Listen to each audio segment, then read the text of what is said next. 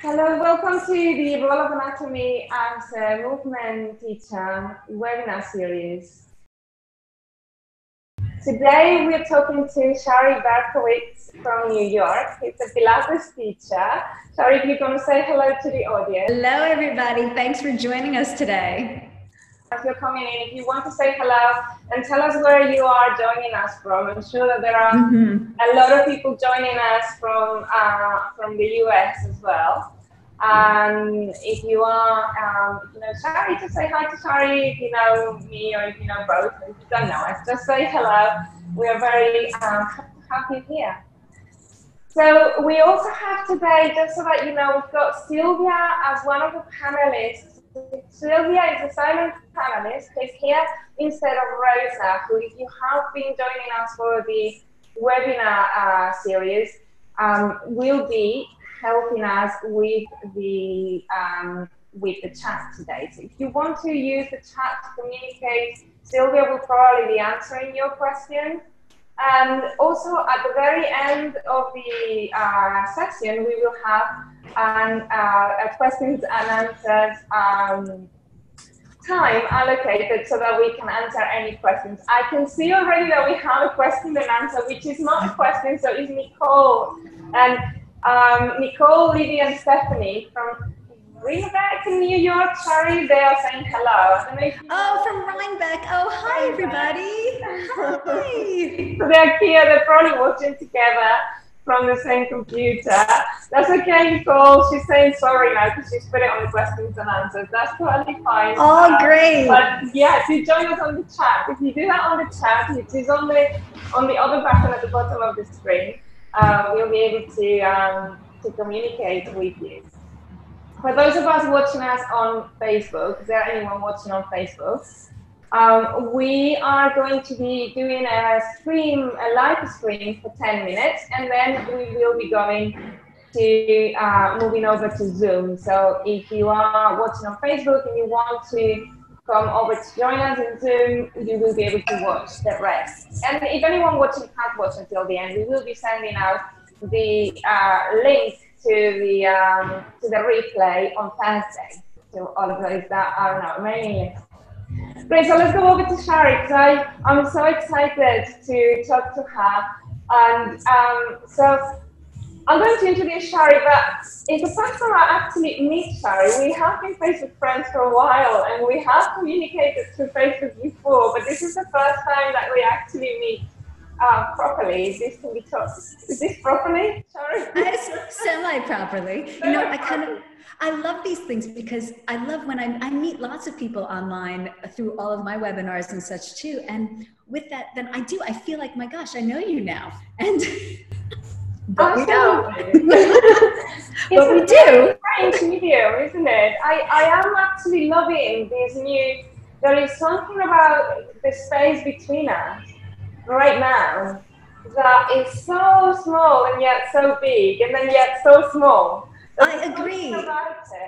I so agree. And then the same thing with those who are who are part of this observing and that that we're strangely in the same room even though we're not. I love this. Yeah. yeah.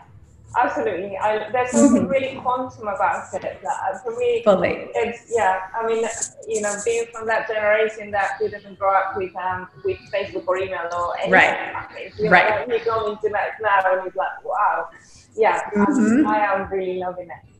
Because Shari is a Pilates teacher, but she also uh, is a biomechanics and uh, an ergonomist. It's a mouthful. It's a yes. mouthful, but it's fantastic. Can I ask you, Can you tell us a little bit? I'm really interested in the autonomy. Um, when I read that, I was like, I want to ask her about that.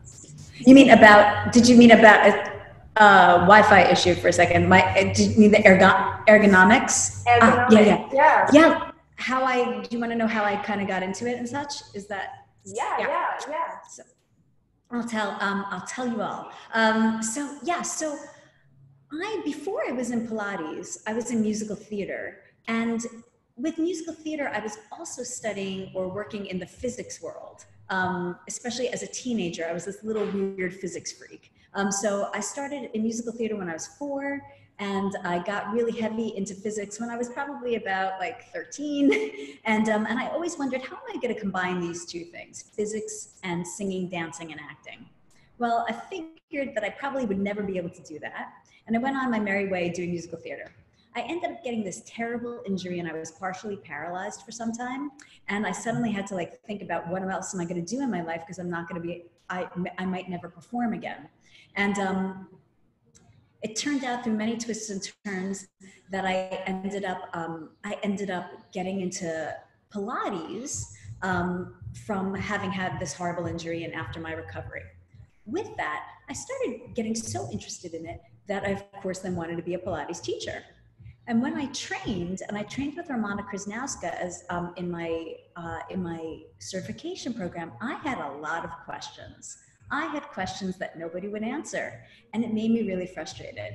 I'm a really um, I'm a deep student. I'm I'm that I'm that lady who I want to learn. I want to learn about everything. I want to understand why why does this color wall. Why does it look white to me in this way but it looks a different white to you? And why does the camera angle make the wall look like it's angled when it's not? I want to know about all things. And i especially wanted to understand just even simple things like why if somebody's knee is hurting them should they not do this exercise? Or they could do that exercise. And um, Romana didn't have answers for me and wouldn't answer questions, which is very, um, which was very typical for her. And um, and then I would go to many other people or anybody, and nobody had answers for me. And um, I decided, well, if nobody has answers for me, then I better find the answers for myself. And I started studying um, anatomy, which then leads to functional anatomy. And because of my world of physics and my desire for that, I started to get into biomechanics. So I started to study anatomy, which leads to functional anatomy, which then ultimately for me led to biomechanics and trying to really understand how does or what are the theories behind how your human body works. And early on in my Pilates career, as I started wanting to get answers to questions and other people had questions, I became the go to for if you have questions about Pilates, exercises, teaching tools, the human body, go to Shari. And that I welcomed it and that has become kind of part of my position. And that if I didn't know the answer, I would find the answer out. And so I just kept deeply educating myself because I was curious and I wanted to help everybody else. And, um, and with that, um, after many years of doing this and so much self study and working with other experts or working with experts and developing my own expertise um, and working with biomechanists all over the place in, in laboratories ultimately i finally decided gosh maybe i should get a degree in this and um, so I did. I finally decided I should get a master's in biomechanics. And so then, um, typical of me, I didn't just get a master's in biomechanics, I got a master's in biomechanics and ergonomics. And um, ergonomics is, um, and both on the research side of this, plus practical applications. Ergonomics is the study of, um, of how work um, and how work actually affects the human being, affects the worker. And in both biomechanics and in ergonomics, I study um, how musculoskeletal disorders develop in people.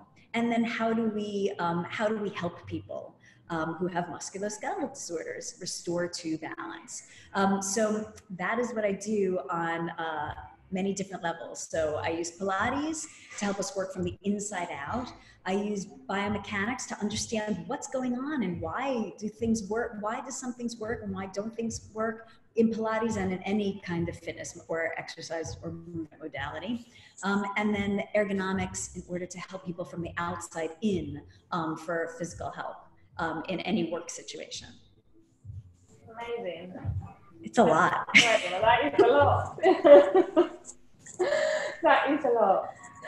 So obviously, through the study, um, through the study of biomechanics and ergonomics, you must have also been having to study quite a bit of anatomy, I imagine, oh, yeah. in order to be able to understand how the joints work, different uh, relationships. Um, oh, that's, that Laos. I don't know what that is. it's, I'll tell you, it's um, it's West 23rd Street, right, right there. but that's someone's motorbike going by. Yeah. um, yeah. So tell us a little bit about that. Like, how how do you? I mean, obviously, I am taking that, of course, the the, the idea of or the question of um, what is the role of anatomy as a movement teacher for you is um, anatomy is is a given, isn't it? Like I, I think it is. I believe it's a given, and um, and you know what? I was um, talking to some of my clients this morning and yesterday, and saying that I was looking forward to talking with you today and sharing with everybody, and um, and that talking about what's the role of um, of uh, anatomy in um, in Pilates and exercise training at all, and my clients were kind of dumbfounded that anybody would even ask that question because they were like, "Well, of course, you guys should all know a lot about anatomy. You should know a lot and like about how the body works. And like, let's recognize. I think it's important to recognize that anatomy is just the list of body parts, whereas then it's functional anatomy and biomechanics and physical biomechanics that um, is how does it all work? But um, people always say, implies that they, oh, they're studying a lot of anatomy. Okay, then that means you're memorizing body parts. But then what do we know about the physiology and more of that? And I think that it's really important for us to study what the body parts are, what they do, and how they all work together. Um, because ultimately, that's the instrument that we're working with. We're working with human bodies and we're asking them to move in interesting ways. And we're working with people who have injuries or who have recovered from injuries, who are scared that they might get injured again. Um, we're working with people who have goals. They have physical goals, which is why they come to us. And I think that it's most important that we as Pilates teachers understand how each of our exercises and how our method of Pilates, whatever our styles are classical, contemporary, therapeutic how our method actually affects a person. And can we really help them achieve their physical goals? Or are we just given a bunch of exercises um, and like hoping it works? Um, and I'm not okay personally inside of me with that kind of risk of like, I hope this works. Um, I want to be able to be so effective for my clients that I know before we go whether this is going to work for the moment or the long term or it's not. I want to be able to have that x ray vision of knowing what's going on inside of my client and thinking about how this is going to help my client progress over time to, uh, to address their physical goals. Um, and that requires something well beyond our um, intuition or a sense um, that I believe that to be to be able to predict what will or won't work for the moment and for the long term, we need a deeper education beyond um, intuition. Mm. Yeah. Yeah. Um, I mean, the discussion originated, for those of you watching that don't know where this all started, this webinar series about, you know, why are we questioning the role of anatomy or are we questioning it? Uh, I mean, some of us uh, be involved in, in the world of anatomy and understanding the body. Um, so um, yeah, it came from, from originally from a Facebook post that I uh, posted on my private Facebook on one day, just one of those times when you just or I just put something on Facebook and then I go like, why did I do that? I don't really know. I just, um, I, I was having a, an internal thinking in which I was, I had had a chat with someone, I had had a conversation with someone about um, the dryness or what she perceived as, a, as anatomy being a dry subject. For me, personally, for those of you also watching that don't know who I am, I am uh, deeply studied students of anatomy, possibly for forever. Will we ever get to know? I will never really get to know the body. I mean, it's, it, uh, yeah, it's like going out into outer space and trying to sort of understand the universe, but going going inwards and through. Um, and I do that through many different ways. I, I am studying a, a postgraduate diploma in anatomical sciences at the moment in Edinburgh, at the University of in, in Edinburgh. But I also do dissection with, uh, you know, with Gil Hedley, with functional fascia. Uh, but anyway, going back to the conversation that I was having with this person, this person was feeling that the study of anatomy for her was very much a dry subject.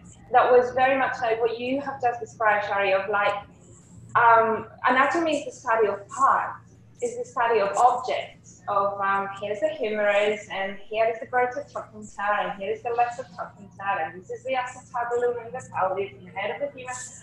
And um, how for her that, that in the past in her study of anatomy had been such a disembodied experience. Yes. In which anatomy had been um, a study of uh, a sort of outside objects that did not that she did not feel and she did not sense. So then she had gone into a journey of um, of um, different different research, body research, really really valid.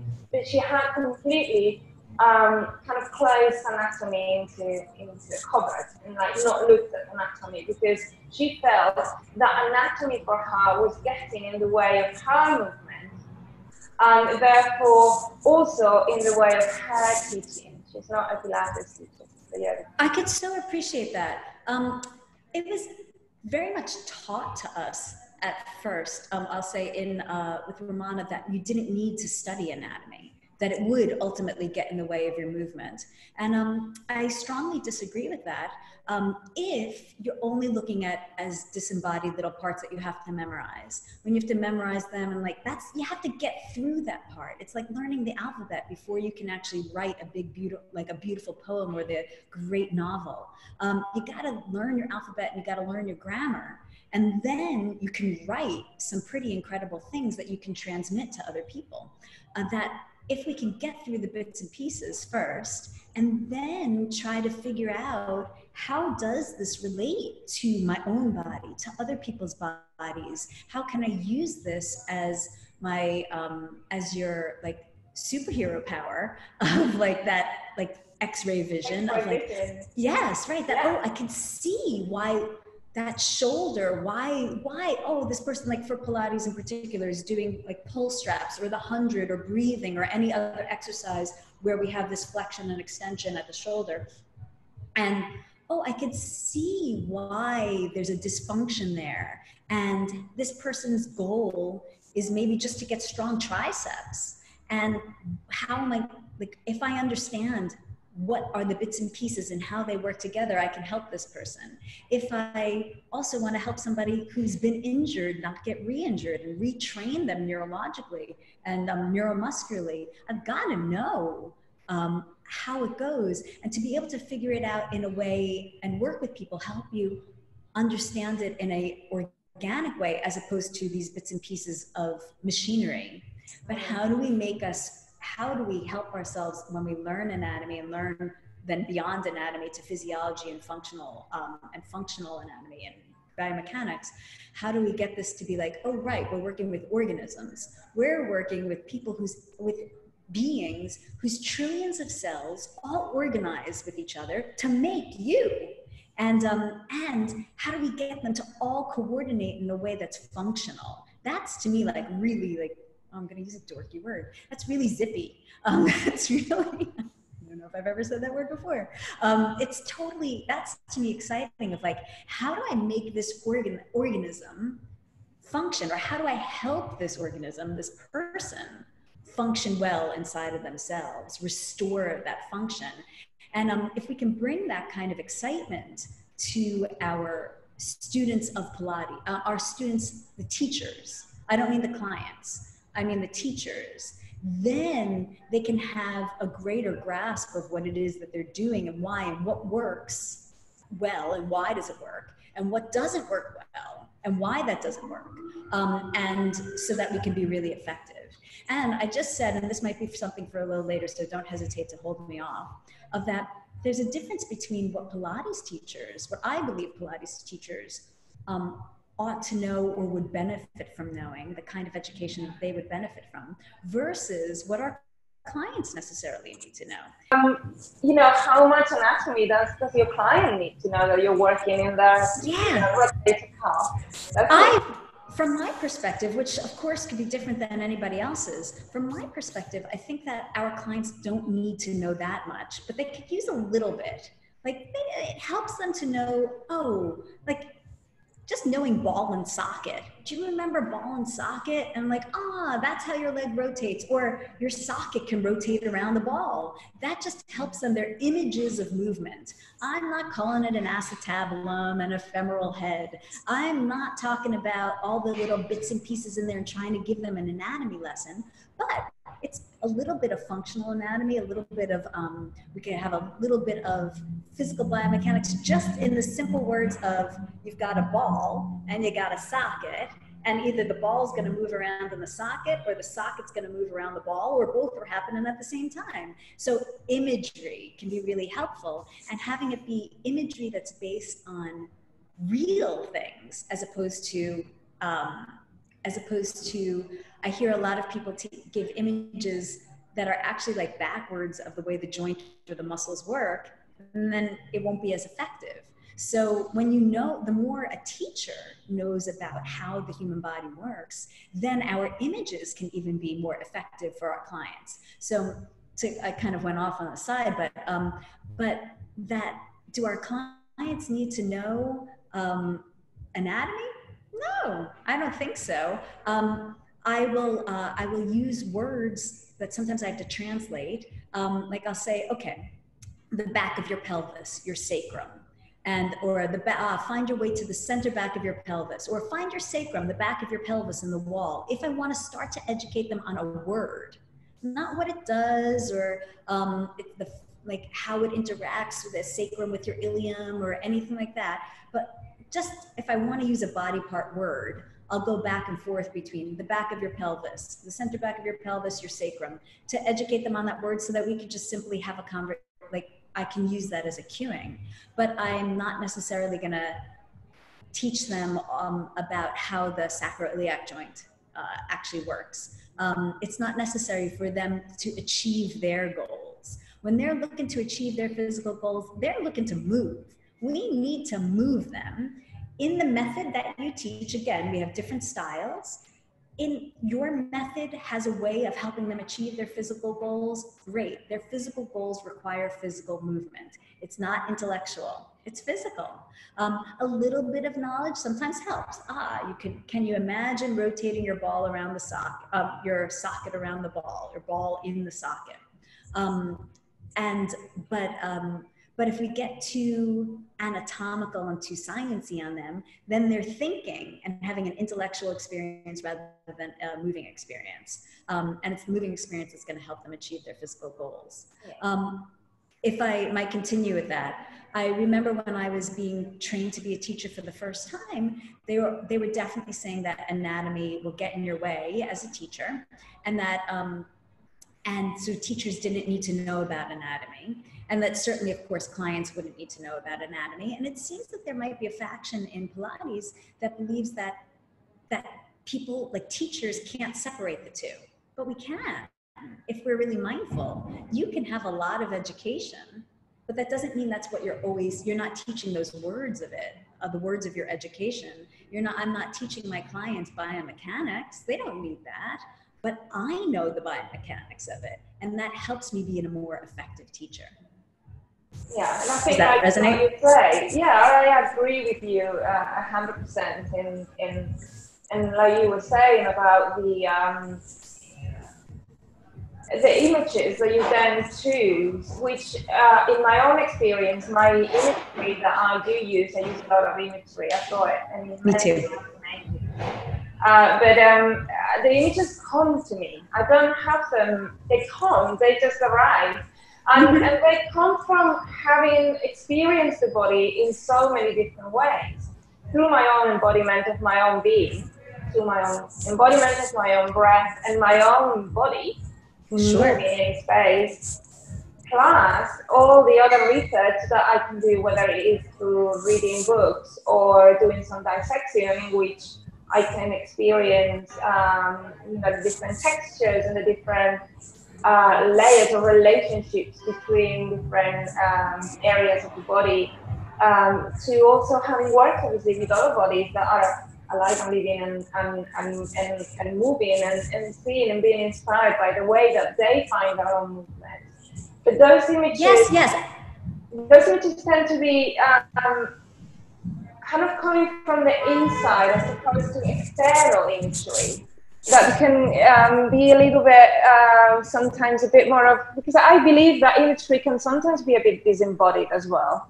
Like some some of the images, like what you were experiencing or saying about hearing an image that you're going, oh, that kind of almost goes against what movement there is in that joint. Um, so yeah, right, right. Informing yourself is. I think that's it exactly. If we to be really effective teachers, and I think when we're when we're effective teachers and our clients are able to, I'll say this phrase over and over again, they're able to achieve their physical goals, or they're able to even just achieve an exercise or a set of connections. And for me, it's always about internal connections people are making. When um, for us to be really successful in these ways, um, we the having the most effective tools is really great. And when the images come from knowing how the human body works, then and like and really knowing it, not just because somebody said it to you and you're blindly accepting, but because you have investigated beyond blind acceptance into critical thinking, which leads to creative thinking when we really get that way, then our images are extremely effective. Then, when you understand how the transverse abdominis connects and how the where it is and what the action really is and how the different uh, other soft tissues respond to the transverse abdominis or my my favorite part of the human body the thoracolumbar fascia anybody i know who's watching this right now is laughing like of course Shari said thoracolumbar fascia my favorite part of the body and like what happens in that then you can change your cueing and your images to be that and it's real. It's the right image for the action that you're looking to have happen internally or this external large thing that's going on. And um, it works every time when you really know what's going on with the body. And then as opposed to a false set of or an imposed image that isn't how the human body works and you're wondering why is this movement or this exercise failing every time? It's failing because the understanding of what's going on is not um, is not appropriate. And um, and i must say and that's from very well-meaning teachers from extremely well-meaning teachers we have many of us have been taught things that are really inappropriate. Either they won't be effective or they could hurt people um, or they'll be effective for a short period of time and then and then level off. They won't be effective any longer. And um, and the more that we genuinely understand how the human body works the more effective we really can be. We don't have to hit that wall of frustration of like what am i doing? I don't really understand what i'm doing yeah, absolutely. Um, I'm going to um, just say um, to the audience, those watching, if you have got any questions, it is now a good time to start putting them onto the questions and answers at the bottom of the screen. So if you don't know where that is, you just hover over your screen. Right at the bottom, through about the center, there's a Q&A. You click in there, and you'll be able to write any questions uh, there. Um, Sylvia, I think, is also reminding you on the on the chat about this and telling you where where to go. Shari, can I ask you because throughout, you know, you uh, talking about biomechanics and the, the word biotensegrity was uh, um, really coming up for me, and I mm-hmm. really sort of kind of hesitate. Should I should I bring that up? Should I not bring it up? Can I ask I'm what so glad you're bringing it up around the uh, the uh, around yeah around tensegrity and, and you know biotensegrity. Can you tell us a little bit about whether you yeah what your thoughts are around it? Yes, yes. Um, so um, so biotensegrity is a concept created by Stephen um, by Stephen M. Levin, who is a very good friend of mine. He's a good friend of mine because um, it was many years ago that I was searching for some information to try to, uh, as I was doing research on how do we have opposition in the human body? What is opposition how does that develop? And it's actually what really, it's probably what really propelled me into, um, into the world of research and my pet project with lumbar fascia. Anyway, I found, um, I found a comment that uh, Stephen Levin made on some blog. Um, and um, so he's the creator of this concept, um, and I think it's a really remarkable concept um, of biotensegrity. And um, and um, I have worked with him and um, and other people in the biotensegrity field.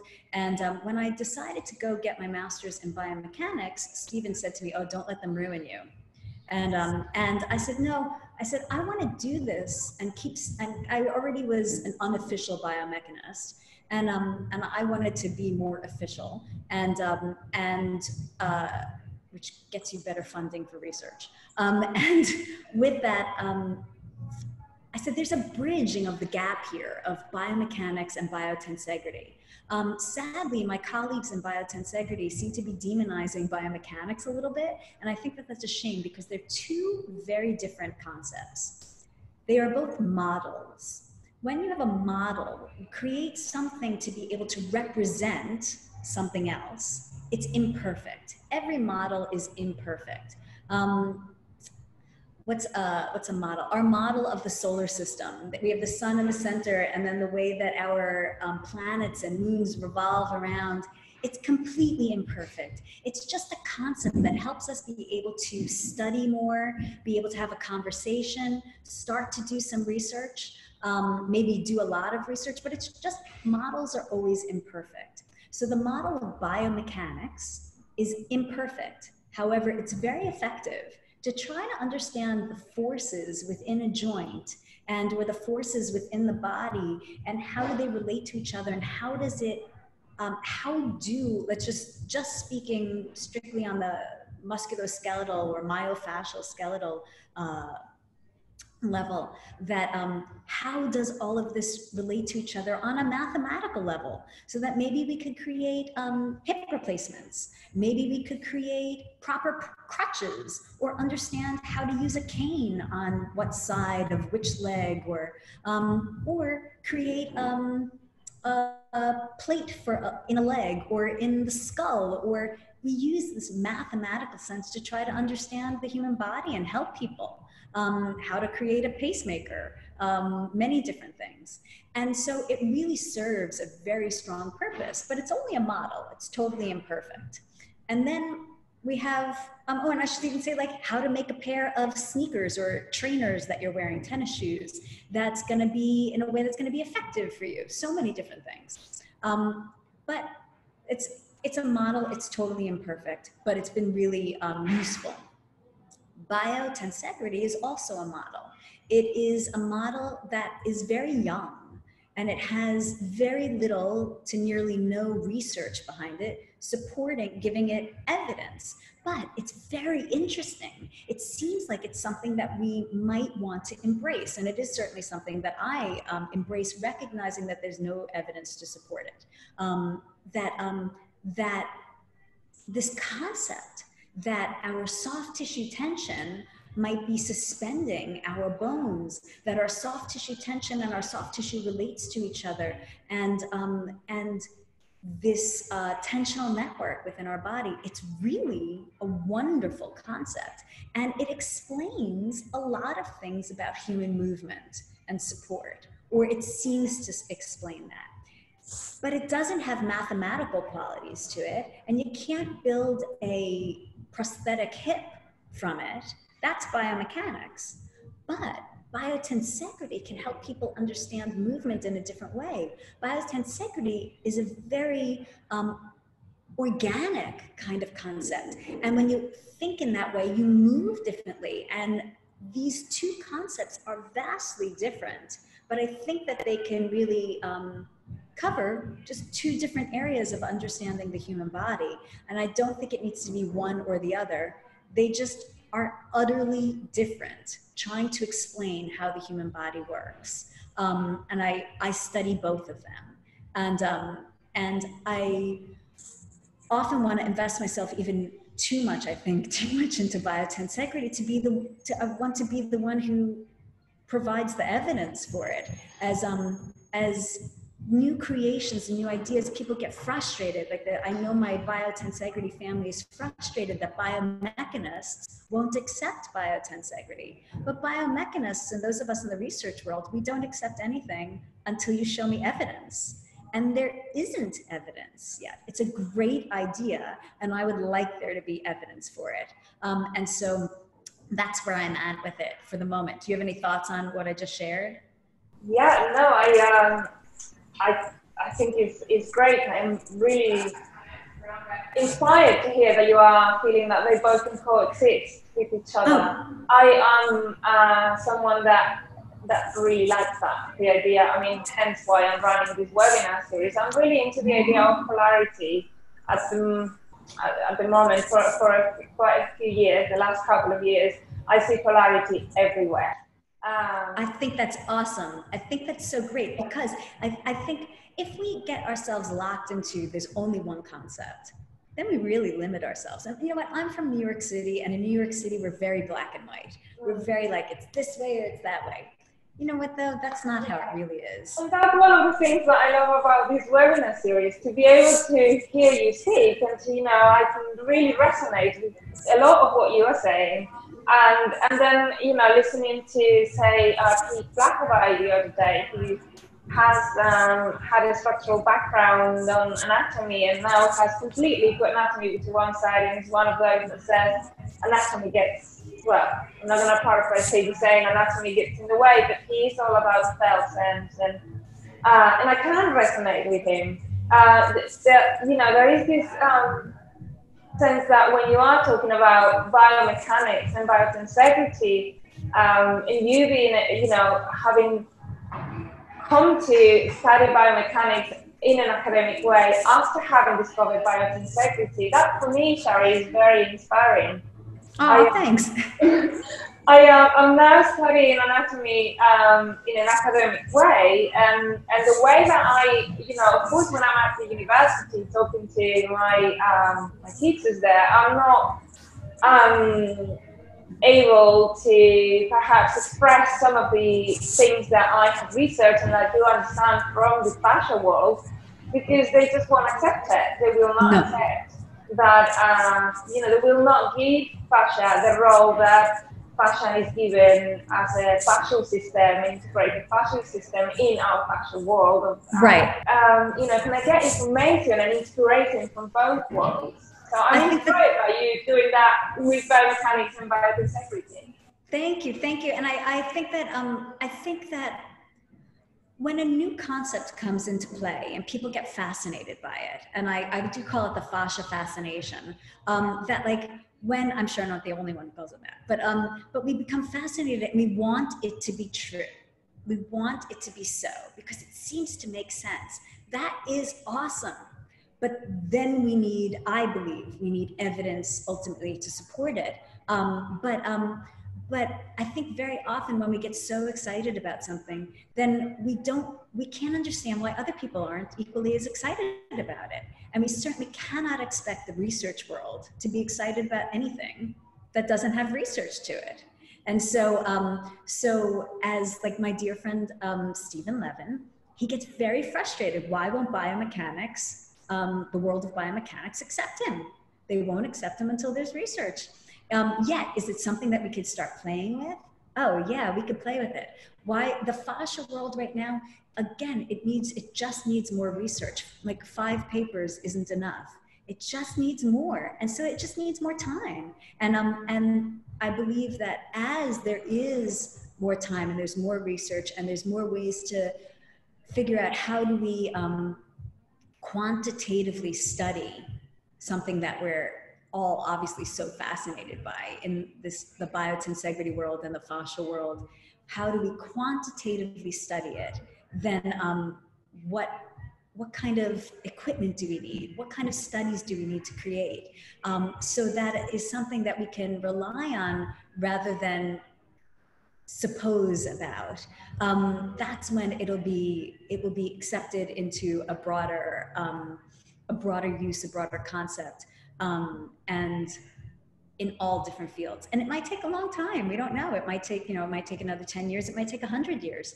Um, and uh, but I think that we can work with this plurality um, and uh, and we can expand our ideas of something that is okay, research with lots of evidence, bio, uh, biomechanics, and yet there are still questions of like, I'm not so sure about that. And then we seem to have answers in um, biotensegrity, and we can use the two of them together. I mean, that's really what my world is. So, um, so I think it's fascinating to play with all different sides of it, and I encourage that with everybody.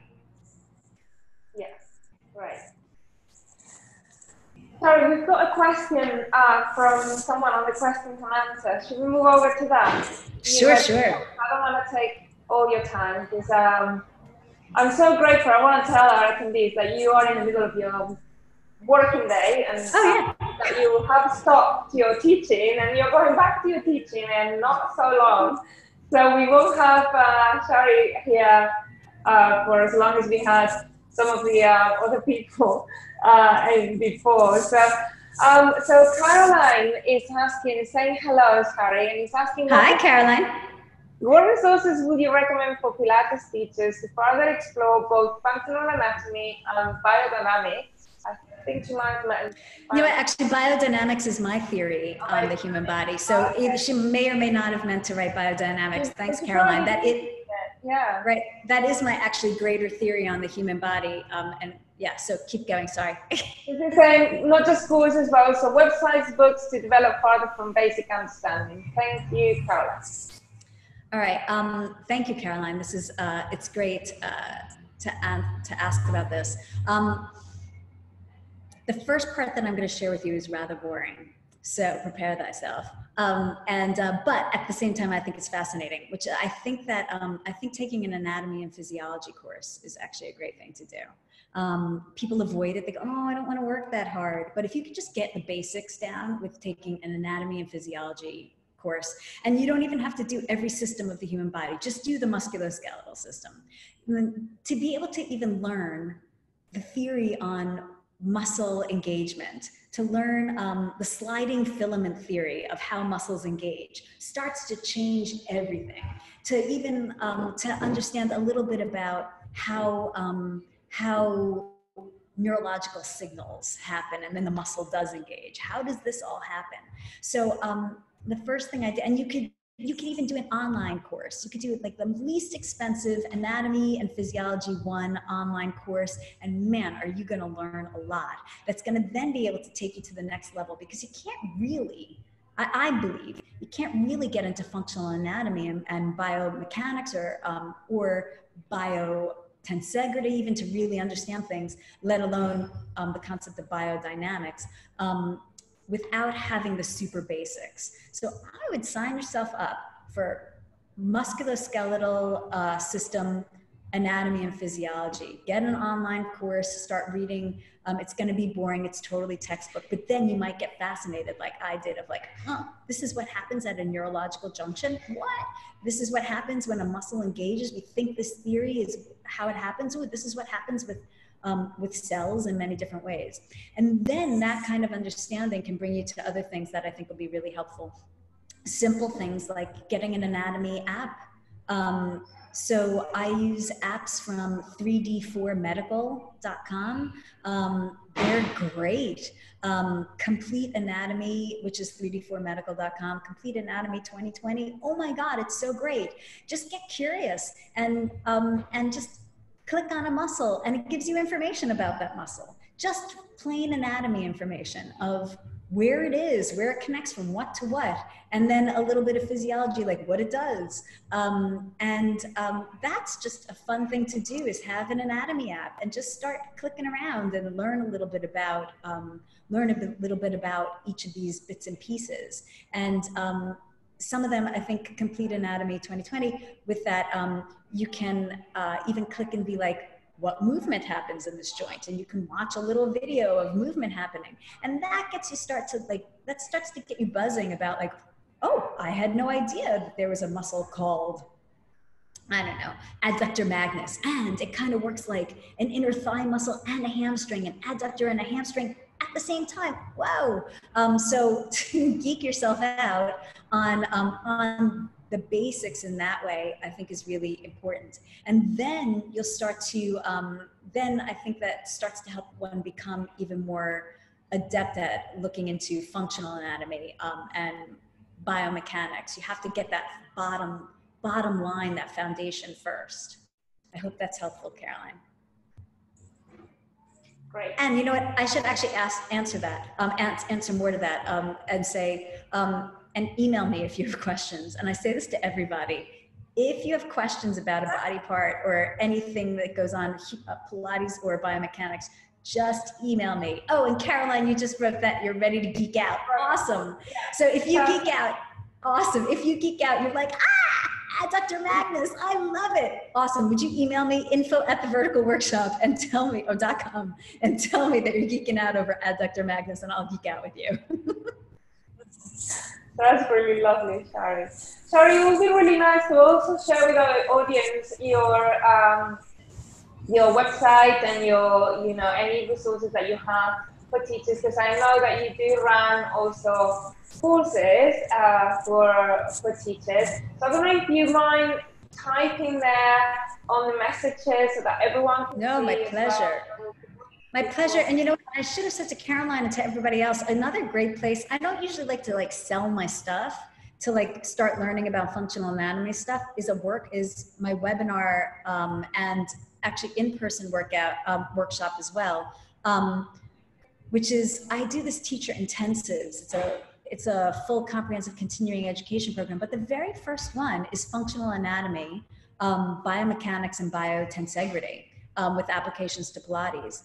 Um, it can be done as um, a recording of a webinar version of it that I've done, or in Vienna, um, May 8th through uh, May 8th through 10th of this year, 2020 um, it's going to be in person. And that information, all that information for all of that is on my website under continuing education. And um, so that's actually the very first fundamental part of my entire continuing education program, which is biomechanics, biotensegrity, and functional anatomy. So I forget to like tell people. Perfect. That's great. Sorry. that was All right. And I'm. I'm like, I should tell you guys about that. So I just put in my website, theverticalworkshop.com, um, and my email is info at theverticalworkshop.com. So nobody has to figure out how to spell my name. Just info is great.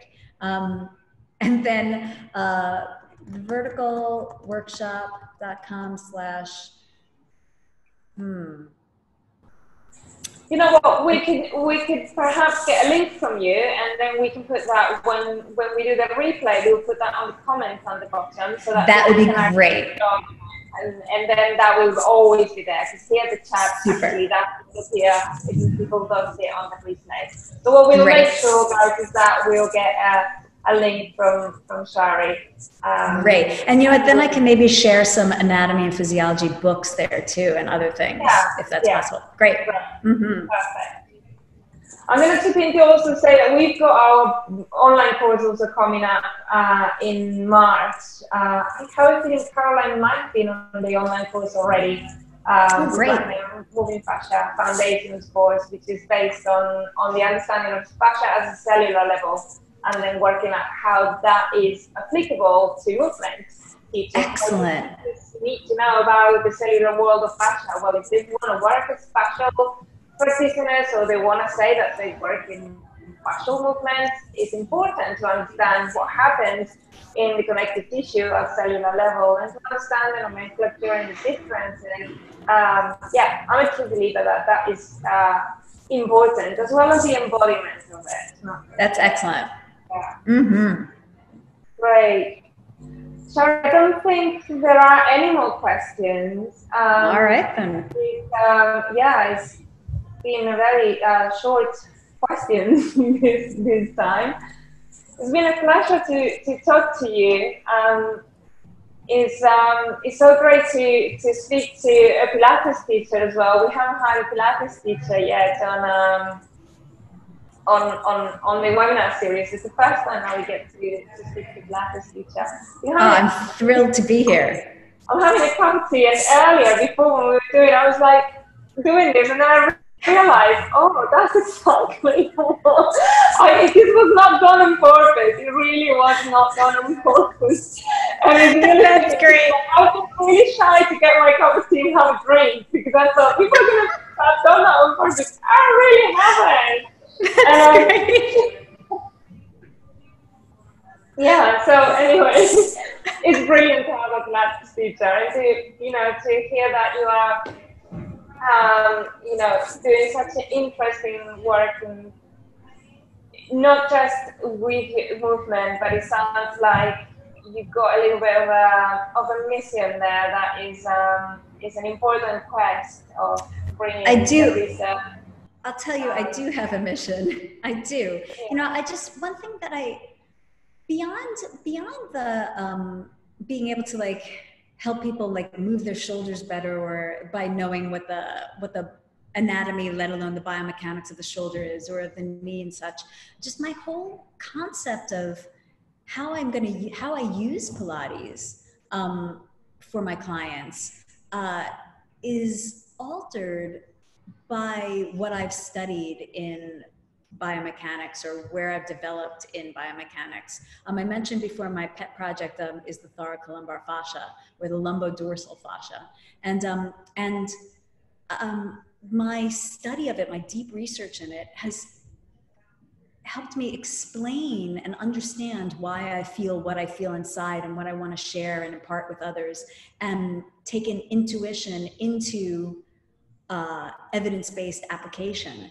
And it makes for such effective um, such effective work that we can use do in Pilates or any other um, physical uh, activity. But again, the, the more that we understand the human body, the way our concepts change or develop in um, in what it is that we do it can be it's so useful to allow your brain to expand by digging inside allows this great expansion as teachers and um, or uh, in Pilates or in anything. And I just want to encourage that education. People get afraid of education um, and they go, oh, it's going to be a lot of work. I don't want to do that much work. Well, uh, sometimes when you invest in work in one part, it makes everything easier later on.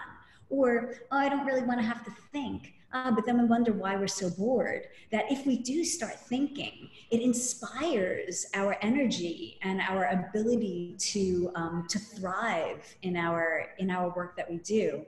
Um, so I know for myself as a Pilates teacher, and I'm glad to be the first uh, Pilates teachers in, in, in, your web series here. Um, that it's it's broadened my or broadened my abilities. It's elongated, or and will continue to elongate my life as a Pilates teacher because to be constantly intrigued by the human body and then how do we play with the method, your particular method, my particular method of Pilates to be able to give such longevity to us. And I think that the more um, the more we explore, the more we have available to us um, and it becomes very exciting. So I'm glad to be your first uh, Pilates teacher in this mix.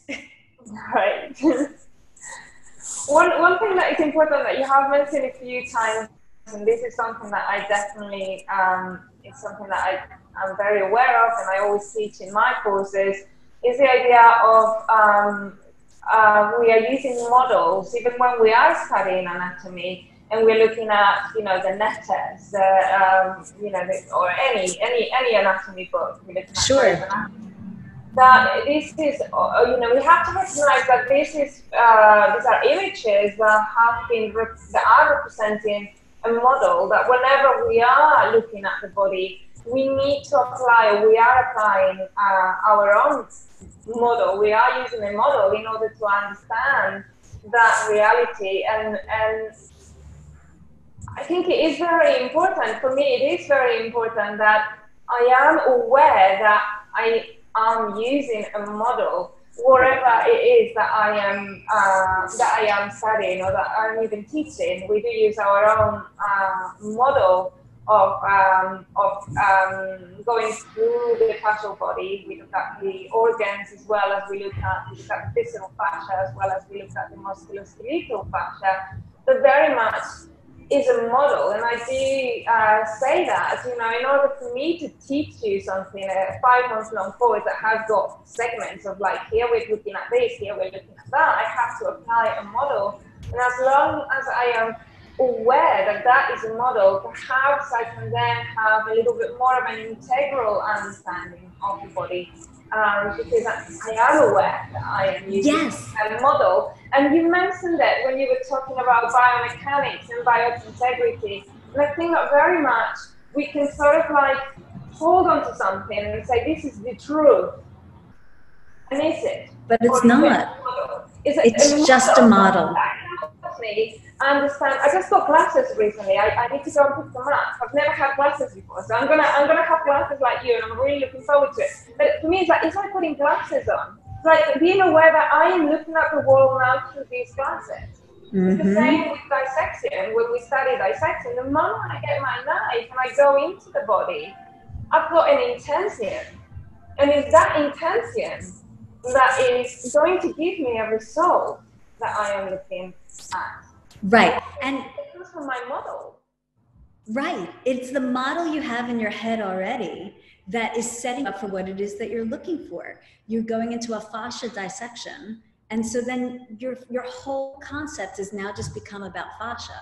Or previously, people would go strictly into um, a muscular dissection and they disregard the fascia completely. It's all models. This makes people very uncomfortable um, to recognize that we're only seeing things or approaching anything from what we have preconceived as a notion. It's very uncomfortable for people.